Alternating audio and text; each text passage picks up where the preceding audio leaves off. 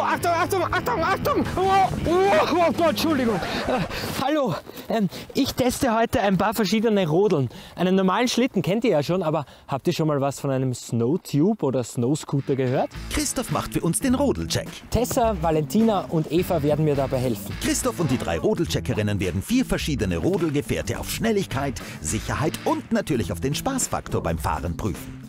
Als erstes muss sich der gute alte Schlitten beweisen. Los geht's! Bremstest bestanden. Super. Christoph und Valentina probieren, wie gut sie zu zweit fahren können. Ob das gut geht? Zum Glück ist der Schnee schön weich. Hat's dir gefallen? Ja, aber besser ist, wenn wir beide sitzen.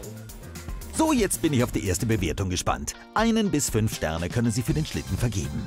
Eine letzte Besprechung und hier ist das Ergebnis. So, wir vergeben für den Schlitten tolle vier Sterne. Gut, aber es geht noch besser.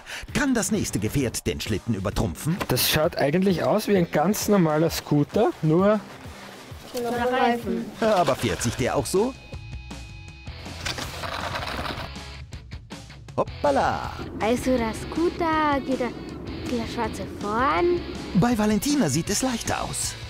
Also Kurven fahren geht gut, springen geht auch. Das Springen muss Christoph natürlich auch gleich testen. Ach, Christoph.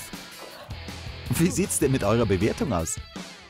Also wir vergeben für den Snowscooter drei Sterne. Der Schlitten bleibt also in Führung. Weiter geht es mit dem kleinsten Gefährt. Wie nennt ihr sowas? Zippelbob. Zipfelbob, genau. Oh, oh, oh, oh. Das war nix. Können das die Mädels besser? Eva kann das Gleichgewicht halten. Valentina leider nicht. Tessa probiert es sogar rückwärts, scheitert aber auch. Also, wie findet ihr den Zipfelbob?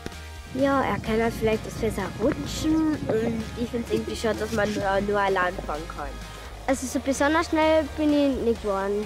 Eure Bewertung bitte? Wir vergeben für den Zipfelbob leider nur zwei Sterne. Damit ist die kleine Rodel aus dem Rennen. Bleibt nur noch der Snowtube. Kann er die strenge Jury überzeugen und den Schlitten vom Thron stoßen?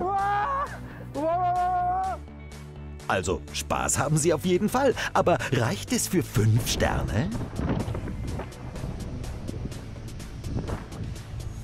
Okay, wir sind uns alle einig. Wir haben einen klaren Gewinner. Fünf Sterne für den Snowtube. Hey, hey, so war das nicht ausgemacht! Guten Rutsch, Christoph! Viel Spaß beim Raus!